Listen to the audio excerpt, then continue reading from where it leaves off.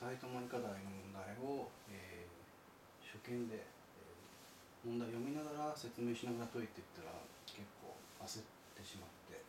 えー、結構はしょってやっていくとなんかおちょおちょで間違ったところが1箇所とそれからちゃんと最後まで考えられなかった24時間のうち何分短いかっていう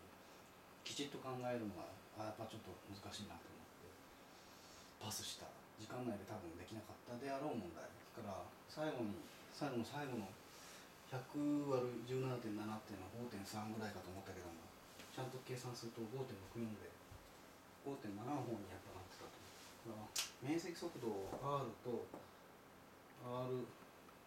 オメガが V だからっつって RV2 分の RV が面積速度なんで。うん。だから2分の R の2乗オメガっていうふうに言ったりなんか言ってたんだけど RV だっけ？っていう。面積速度だから。えー、これはあの d シータ d シータまあそうだな。確かこう。でオメガは d シータ dt って言いまして角速度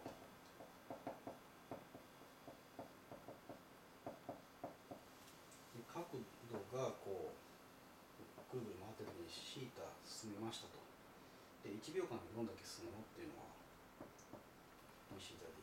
それが角速度オメガです。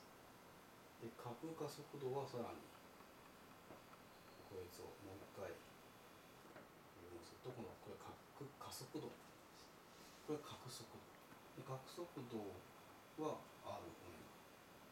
ガ R かけるとこの接線方向の速度になります単位時間単位その方向に距離としてどんだけ進んでるかっていうのを出すためには R を同型の R をかけてやるとその V が出ますでそれさっき、えー、と最初、えー、なんだっけ V に V は速度は R に反比って言ったけども角速度はこういうと R 字乗だから R 字乗に反比例の方を選ばなきゃいけないな記憶によると R にしたような気もするのでそれを慌てないように速度なのか速度なのか加速速度なのか速度は R に反比例だけど、えー、加速速度は R 乗に反比例でなんでかって言ったら面積速度が一定なのであるところの共通点一定値っていうのを K とすると速度は2分の12分の1消えて R 次乗分の K っていうことになるからオメガは V は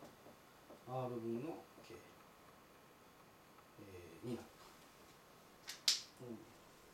速度が角速度か、えー、慌ててなどっちにしたのか忘れちゃったんですけども気をつけてください。あか面積速度は2分の 1RV っていうのは覚えておいてください。で V イコール R オメガってなるってこともオメガは d シータ dt 角速度で V イコール R オメガになるとも覚えてなきゃ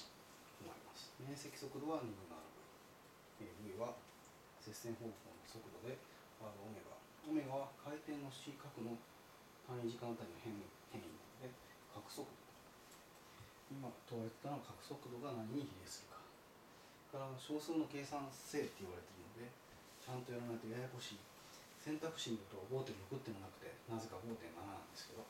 でさっきの最後は2.6になりますねこれでやっても。というわけで、えー、僕がやっても多分90点くらいしか取れないだろうということでそれなりに時間内で本番でやるには100分で2科目なので難しいということで力学のところにしろ電磁気にしろ熱力学にしろ波動にしろ難しい問題があったら先にできる問題から回してやるようにしないとダメです。